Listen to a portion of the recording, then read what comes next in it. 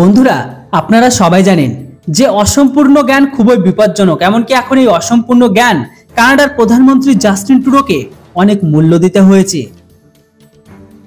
আসলে আপনারা সকলে জানেন যে কানাডার প্রধানমন্ত্রী খালিস্তানি সন্ত্রাসীর মৃত্যু নিয়ে ভারতের বিরুদ্ধে মিথ্যা অভিযোগ করেছিল। এমনকি ভারত যখন এই অভিযোগের বিরুদ্ধে পাল্টা জবাব দেয়, তখন ভারত এটাও স্পষ্ট করেছিল বা স্পষ্টত বলা হয়েছিল ভারতের তরফ থেকে যে কানাডা খালিস্তানি সন্ত্রাসীদের বা জঙ্গিদের স্বর্গ পরিণত হয়েছে।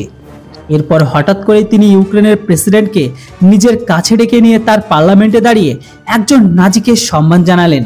এমনকি পুরো পার্লামেন্টে দাঁড়িয়ে এই সৈনিককে সম্মান জানালেন। এমনকি বর্তমান সময়ে এই কানাডা এমন একটি কাজ করেছে যেটাতে তাদের মান সম্মান থেকে শুরু করে তাদের যে একটা সম্মান ছিল, সেটা সম্পূর্ণ জলে চলে গেল। কেননা, কানাডার এই কাজের কারণে শুধু রাশিয়ায় নয়, বরং ইসরায়েল, পোল্যান্ড, অন্যান্য দেশগুলো কানাডার প্রধানমন্ত্রীকে এই ইস্যুতে চরমভাবে আক্রমণ করেছে।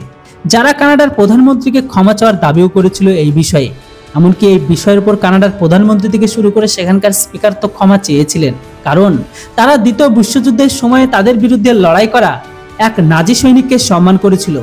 কিন্তু সম্ভবত এই ক্ষমা চাওয়াই তাদের জন্য একদমই যথেষ্ট নয়। এই কারণে কানাডার পার্লামেন্টের স্পিকার অ্যান্টনি রোটাকে পদত্যাগ করতে হবে। হ্যাঁ বন্ধুরা, আপনারা একদম ঠিক শুনেছেন।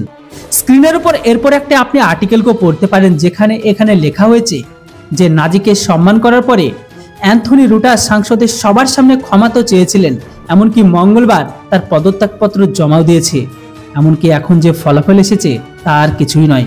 বরং কানাডার প্রধানমন্ত্রী আর খালিস্তানিদের যে অশিক্ষিত অসম্পূর্ণ জ্ঞান, তার কারণেই কিন্তু এই সব কিছু হচ্ছে। আর কানাডার স্পিকারকে ইস্তফা দিতে হয়।